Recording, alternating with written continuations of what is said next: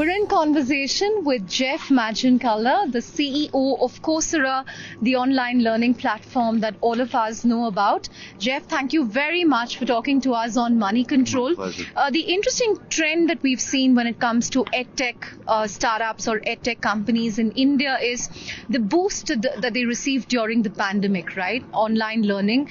That seems to have receded post pandemic. People are embracing offline learning again. Uh, in fact, the online learning companies are opening up offline, uh, uh, you know, coaching centers in India. So life literally has come a full circle for them. Yeah. Uh, what's it like for Coursera? Are you also seeing the dip, the uh, the pandemic-led boost? You know, do you see that ebbing away for you? We see on two dimensions, both with education but also work, a world that was pre-pandemic almost entirely place-based. Like you had to go to campus in order to learn. You had to go to the office in order to work. During the pandemic, basically all the campuses shut down and all the offices shut down. So you had to work, learn from home and you had to work from home. What we're seeing post-pandemic is definitely not the same as during pandemic, mm-hmm. but it's not the same as pre-pandemic. What we're seeing is a hybrid world Right. where you do go to campus, but on campus you also learn online. And you could, might go to the office a couple times, but you also work from home. We're working with universities all throughout India to integrate career electives, industry certificates into on-campus learning programs.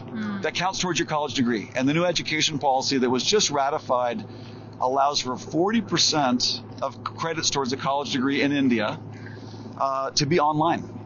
And these online courses can be from universities, and these online courses can also be from industry. So we call these career electives that are being offered to students in traditional degree programs online and from industry leaders. So hybrid is the way forward, or omni-channel, like people like to call it. Abs- absolutely. And I think one of the great things about hybrid is that it really allows people way more flexibility to learn when they want, where they want, and with whom they want. So you don't have to just be online or just on campus. You can be doing that hybrid. And the same thing with work. I was in Bangalore just a few weeks ago. Um, pre-pandemic, we had employees in three cities in India. We had about 50 employees in three cities. Today, we have about 300 employees in 25 cities because we don't have to have people in offices. I was in Bangalore. We have 26 people in Bangalore. I asked them, I said, should we open an office?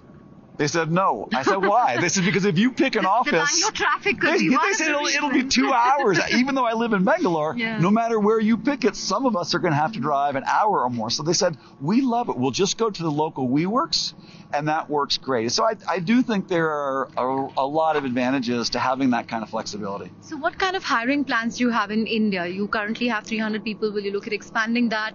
And also tell us how important the India market is for you compared to other markets, because we also see a lot of companies pushing, you know, learning initiatives, relearning, unlearning, skilling initiatives. So, what kind of opportunity does that present for you? Well, there was a report from McKinsey. I won't get it exactly right, but they said something like in 10 years, India will be 20% of the global workforce. Hmm. So any company has to be focused on India as the, a centerpiece of their strategy. Certainly, of course, that's Coursera we are. We work not only with uh, 18 million learners in India who are on Coursera, uh, by the way, at the rate it's growing, India will surpass all of Europe on Coursera within probably 12 to 18 months. What about the US?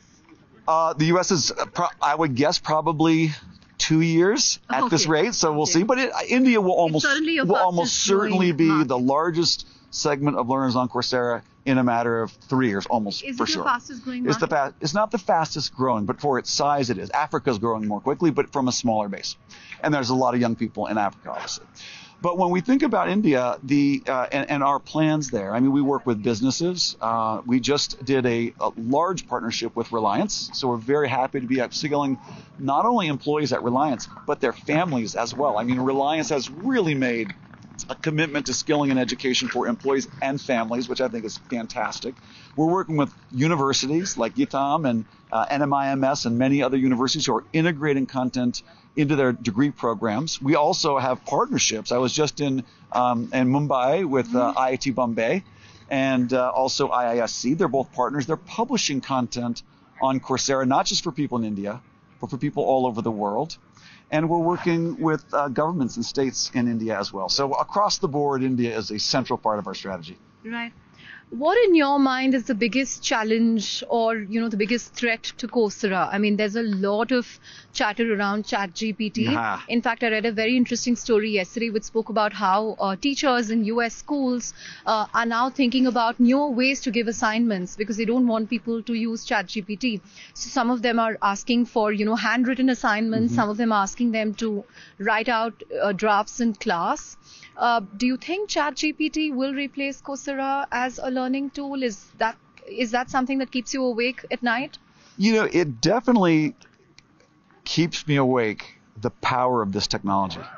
Like all I've been doing for the last 45 days, or which came out what November 30th. I have been using ChatGPT every. What do you ask day. ChatGPT? I, I ask it everything. I'm, I'm actually running it through the Bloom's taxonomy to, to really figure out what are the cognitive skills, if you will, of ChatGPT. Yeah, it could do recall, it could do summaries, it could do evaluations, it could do analysis. It can create new things. I mean, it's it's extraordinary and it's early. It's not perfect. It's dangerous. It's going to really disrupt things. So I frankly think it's going to open up possibilities for us to help people learn in ways that folks have never imagined. Hmm.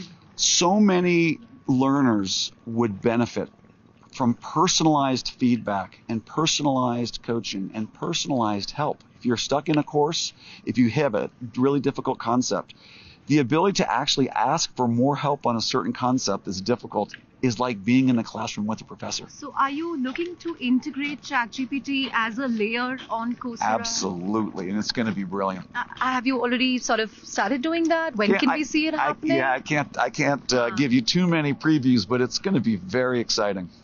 But you know, it's not a non-profit anymore. People are actually talking about Microsoft doubling down on its investment. Sure. So, uh, you know, will that matter at all? Because people are already worried about how their data and queries are going to be used on ChatGPT. Yesterday, Microsoft announced general availability hmm. of Azure OpenAI services. They are basically building, not basically, they just released it. Businesses can now actually integrate with ChatGPT and GPT 3.5 on Microsoft Azure. It's here. It's here. So, When will we see this integration happen to Coursera? Well, you know, in we're- 2023? oh, it'll definitely happen in 2023. Middle of 2023? Nah, I can't get more specific than that. But we're excited about it. I mean, I, it will disrupt a lot of things, and I'm hmm. mostly what we're excited about. This will change the learning experience fundamentally, and I just I think so many people are going to benefit from the kind of personalized But personalized what do you think are the get. biggest risks? Well, the big you kind of already pointed out. I mean, the ability to verify not just whether a written assignment was produced by GPT or, or an individual, but a lot of people don't realize this. Um, well, of course, you can always have ChatGPT generate an essay and then change it a little bit. So it's going to be hard to have technology determine was it ChatGPT because people are going to edit it.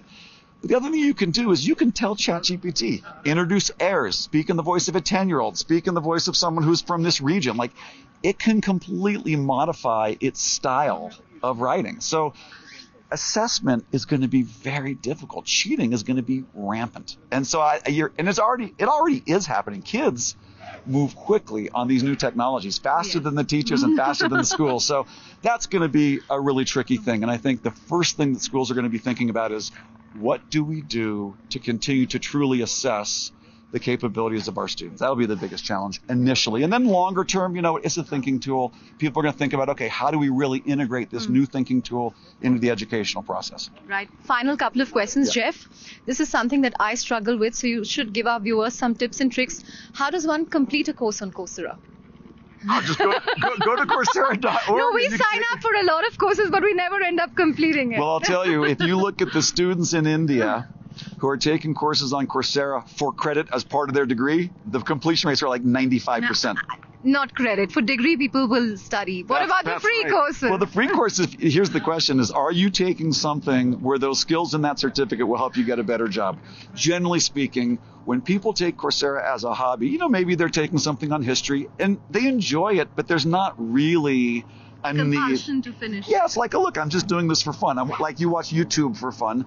When you're doing it for your job, when you're doing it for your degree, you finish the whole thing. When you're not, it's entertaining. It's something you can learn, and I think that that's great. So we're How many, we're how many courses have you completed on Coursera? Oh my gosh, I've probably completed I don't know 15 or so. And what's the one that you're currently studying? I'm, uh, you know, I'm thinking that we need more data expertise at Coursera. So I'm taking the Google Data Analytics course. It's actually a professional certificate program. I'm also taking the University of Amsterdam um, uh, uh, Big History, which is like the history of the universe, which is mm. which is pretty fun as well. Right. On that note, thank you very much for talking to us, Jeff. Pleasure, pleasure. meeting you. My thank pleasure. you.